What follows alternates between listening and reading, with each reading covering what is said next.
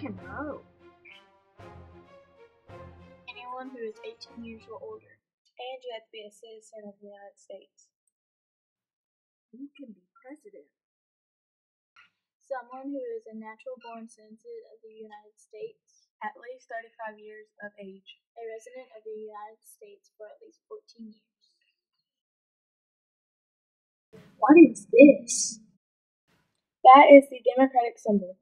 In 1828, Andrew Jackson opponents called him a donkey, so he decided to use the donkey as his symbol. What about this?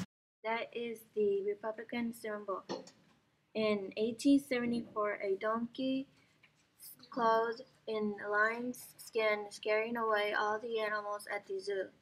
One of those animals, the elephant, was labeled the Republican vote. That is all it took for the elephant to become the Republican Party symbol.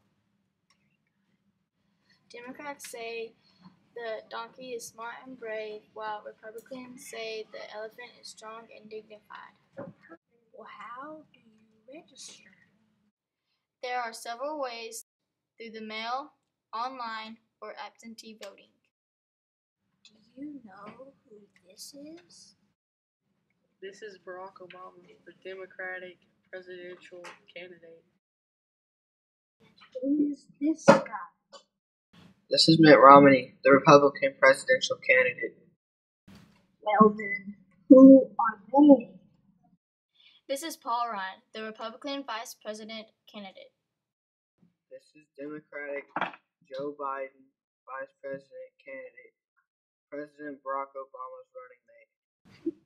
Great, now I'm ready to vote. Voting takes place October 30th in room 517.